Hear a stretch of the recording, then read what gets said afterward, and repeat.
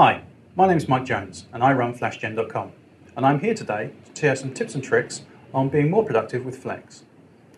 Now a lot of people ask me, how do you get really good live previews with your custom components? Well in actual fact it's not particularly difficult. In fact it's three simple steps. So, so it makes life easier for your developers. Let's have a look at how we go about doing it. First of all we have a custom component. In this case I have a little FLV player.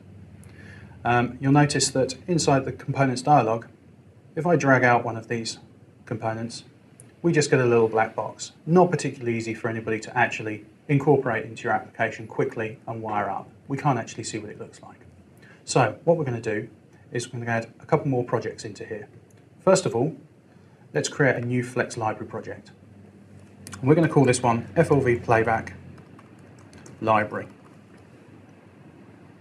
We click Next on the dialog, and we're going to choose the Source Path tab.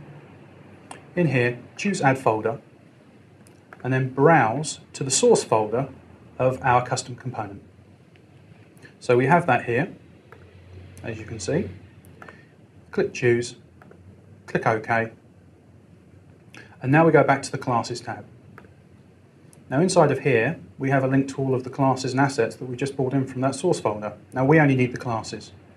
So if we just check the COM FlashGen box, and you'll see all the classes are sitting underneath here if I expand them.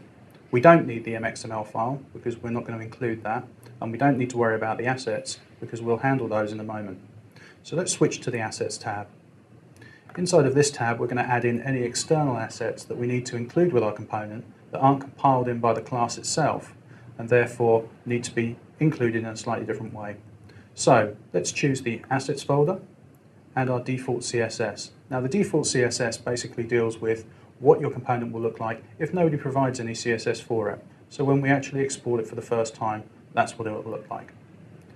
Last thing we need to do, choose the main source folder. Now as we're using a remote folder, we're going to use that one. So we just select that from the drop down, click OK, and then finally click Finish. The compiler will run some updates, and what should happen now is if we expand our Flex Library project, you'll notice inside the bin folder we have a brand new SWC. Now the final step is we need to test it. So let's create a new Flex project and we're just going to use this to test our components live preview. So we'll go new Flex project, we'll call this one FLV Playback Test. So once we've created this, we just click Finish on the project dialog Select the libs folder because we're going to import the SWC from our library project straight in here. Now we need to right click on here, choose import. From the general tab, if you expand that, you can choose file system, click next. Now I've already been to the directory, but you can browse to the directory that is the bin folder for your library project. Select that, then tick anything you wish to include. In our case, it's a SWC make sure that the into folder is in actual fact our test libs folder, and then click Finish.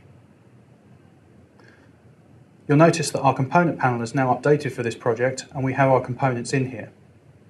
And then all we need to do is drag our component out, drop it onto our project. Now as we've just updated the compiler, we'll need to refresh the design view.